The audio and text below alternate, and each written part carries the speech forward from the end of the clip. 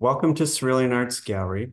Tonight we are going to tour the exhibition Songs of Winter, Songs of a Summer, featuring the paintings of Lynne Campbell and John Sevcik. John Sevcik sadly passed away on March 1st.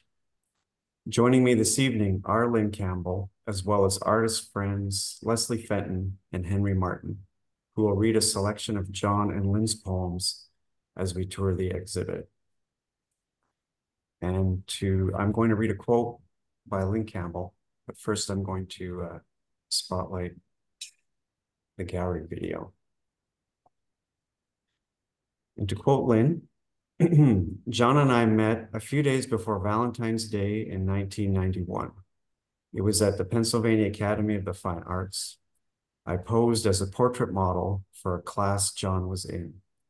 I came into the studio early and John was there.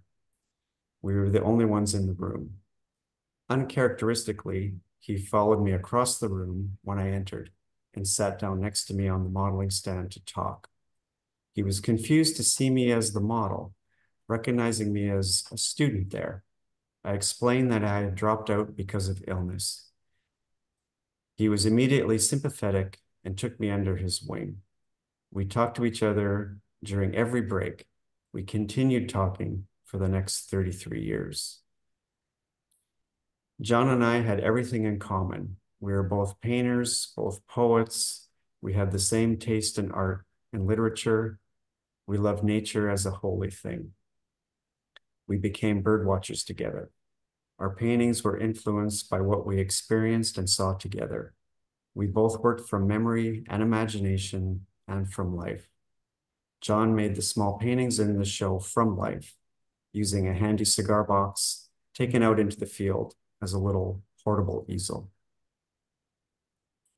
And now Leslie Fenton will read the first poem. Hello, Leslie. Hello. I'll be reading two poems by John. First poem is titled New Found Land. To Arcadia, to Giverny, Fontainebleau or Arles, to Brittany or Fiji, the Marquesas or Morocco, to Maine, the Hudson or Cape Cod, Truro or the Hamptons call.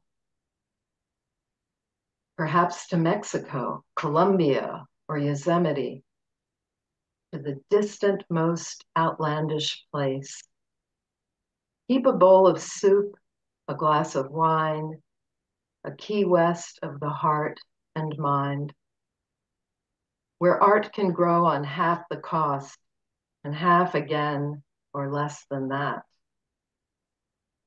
Or better still, a newfound land, a sandbar off Belize or Cannes to while away, to paint, to plan, the art utopia no one can achieve in life, but hanging dreams of it export the beauty to which all resort.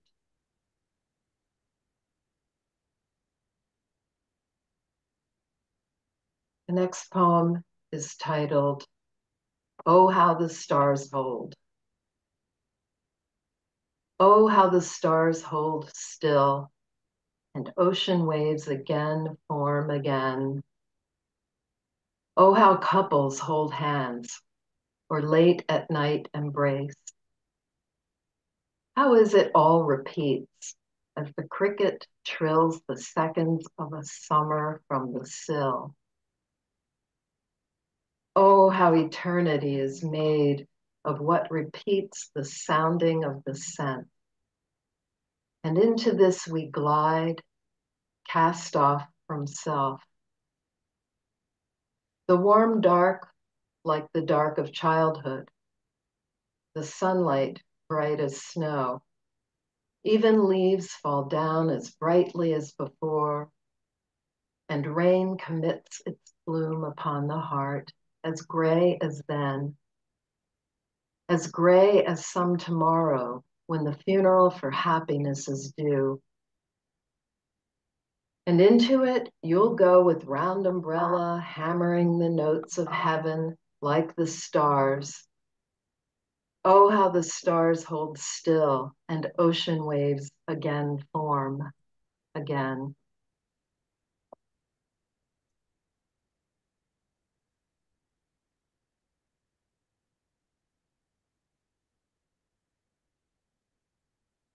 Hello, my name is Lynne Campbell. I'm the wife of John Sevcik. I'd just like to say a few things before I begin reading some of our work. Um, I'd like to first express my thanks to Tina and Mike for this show. Planning and preparing for it was a bright spot for John, but he was very ill. We both enjoyed working towards it and thinking about it. It took John away from his suffering. It brought him back into his real life, his life as an artist. I will always be so grateful for that. I will never forget what a difference it made to him. And now this show is helping me in my suffering. It gives me a place to be with John, to be surrounded by him and his work, to see our paintings together resonating with each other the way we did together in life. Thank you too to Bill Scott, dear Billy, for his role in getting us this show. All three, Tina, Mike, and Bill, came up with the idea together. Thank you. I'm going to start by reading one of my prose poems. It's called You Have Never. You have never cupped a bird in your hand. The anxiety of the bird would be too much. You have tread through snow, mucked through marshes, shivered at night for the sake of stars. You have thirsted through heat waves. You have felt steam rising from the marsh in waves, blurring the distance.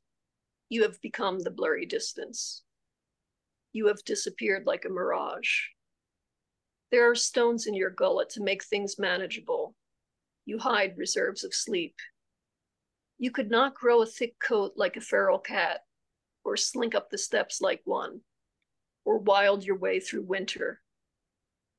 Squirrel nests make it through all seasons, and in winter show like monuments in the trees. You are but a portion of wind. The sun fills you out. The moon dresses you up.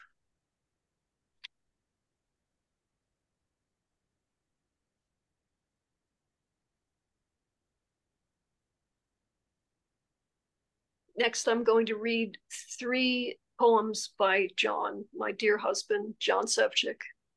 The first one is called A Painting is a Painting. A painting is a painting. It's not like you or me. Nobody gets older. No one ever sleeps. It's a stillness made of life with meaning there. You feel it as you watch it, even as you stare at those forever praying we're lying nude, aware, not of us, but God, and the artist never there. We travel time to then, and then to us appears. Time becomes transparent, and what is far comes near. Who gave their life to painting that we can know life more? The artist in his garret, the model in her maze. We think of things self evident, when we observe those lives frozen in the minerals of pigments and the mind. But what of art's intention? Does it think or know the way? The artist isn't talking, there's nothing more to say. Who made a painting matter, then vanished long ago? Who gave their life to painting so we enjoy life more?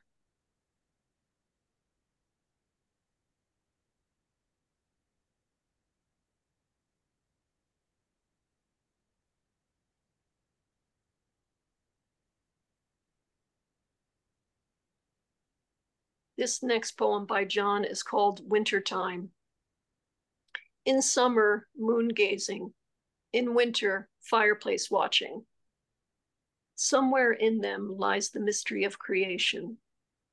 Life, looking back from where it comes from, studies itself in me. Outside, even the moon looks covered in snow. while the sun has given forests, water, earth, and stone for the mystery of fire, its cousin in the hearth. I am passing from and to. If I paint, I leave myself behind. If I write, I write to you and to the future. Who can speak to the past? Who will thank us if we do the right thing by the future? They will have their own chances. They will not think of the past or the future, but like the ember, they will burn in their own fashion. The moon will be the soul and mirror of the sun. They will dream together like we do at night. Time is the speed no one can control. It holds apart all things, all loneliness, all of us.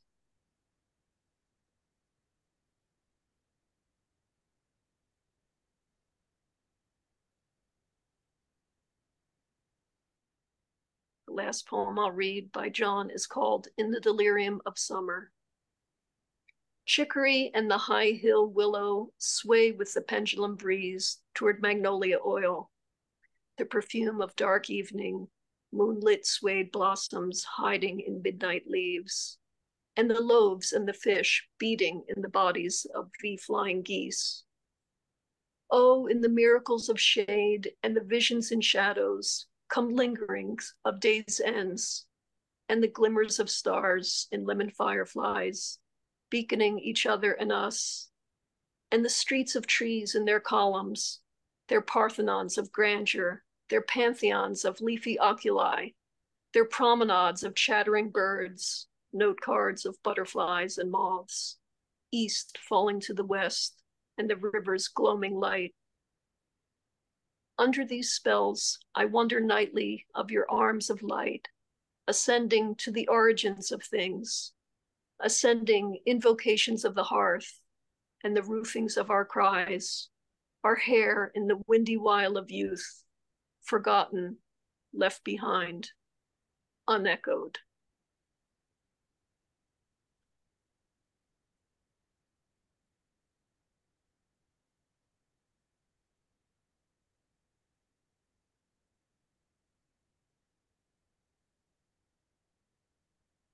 Next, our friend, the painter Henry Martin, will read a poem by John.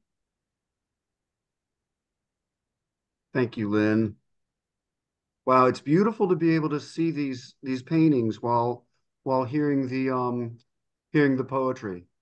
And so now I've opened up the poem on my I can see it before me and I can't see you, but Lynne, um, like you Lynne and I overlapped at the academy and I met John through Lynne. Uh, I've always had a very special um, admiration, Lynne, for you for your your sensitivity and your thoughtfulness and your sincerity. It's like you're a very you're a very rare individual and you're very lucky to have found John. It's it's just wonderful to know both of you. And I'm really uh, privileged to be part of this this poetry reading. So thank you very much. Thank you so much, Henry. Of course, of course. Okay, uh, this is by John Sevcik. It is titled "Art in the World." Ah, uh, and I'm just honored to be able to read it to you. Okay. Art in the canvas before you, art in the field of life, art in the trees and the sun, art in the melody of cicadas, art in the blue of the sky, nowhere the same. Art in the painter's hand, supporting and moving, art as the dance of the eyes.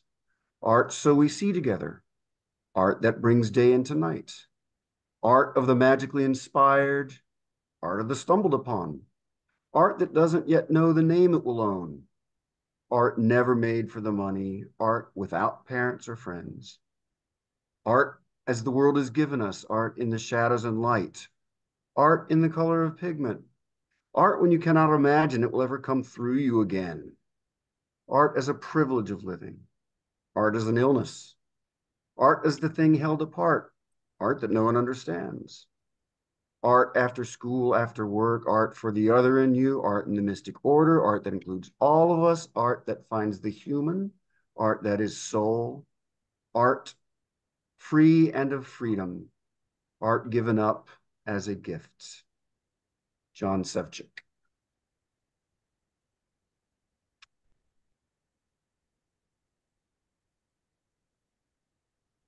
Thank you. This is my Kobas again, and I am going to read the statement that John Sevcik wrote for the show. Songs of Winter, Songs of a Summer. We remember by the contrast of the world. Immersion is not the idea behind this show, but the way things are different due to the slant of sun and the hue of the weather. Places remembered this way reach different conditions, and their realization of change goes inward via the figure or via place in time's story. Both artists experience loneliness in different ways, and that is the song of the seasons, if anything is. This is not a personal loneliness, for they are happily married. They instead share a feeling for nature that puts their feelings in a mutual state of mystery, reverie, and wonder. Though together, they are also on separate itineraries. Work varies from plein air to work from memory, imagination, and dream. John Sevcik.